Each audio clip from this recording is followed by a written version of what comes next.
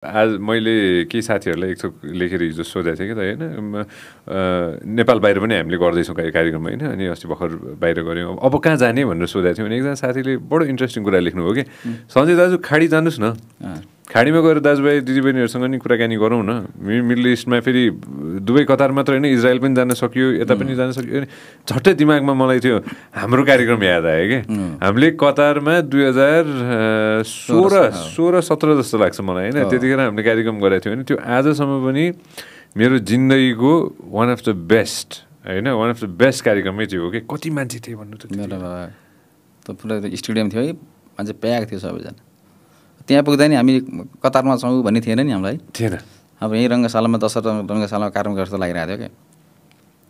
हजुरलाई पनि त्यही फिल भयो नि त त्यतिखेर? बहुत मजा भएको थियो। म विदेश छु भन्ने पनि भएको थिएन नि।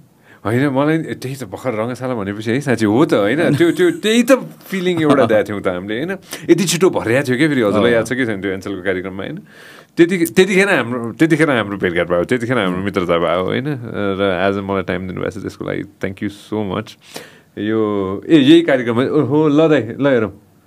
हो विशाल थियो है यो स्टुडियो ए यो स्टेडियम।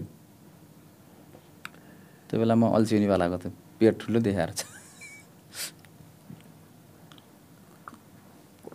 थिएन अल्छी कहाँ हुनु? त्यत्रो पावर थियो त्यत्रो त्यो ऊ थियो। अरू कुनै भिडियो छ भने खोदा ल।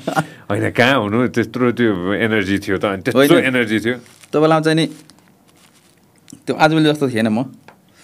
अलि अल्छी अल्छी थिएँ तपाईँहरू देख्दा नि एक्टिभ हुन्छ बिहान जिम जाने कि स्विमिङ जाने कि कता जाने भन्ने हुनु त तपाईँहरू शिव ब्रो र म। मेरो के थियो?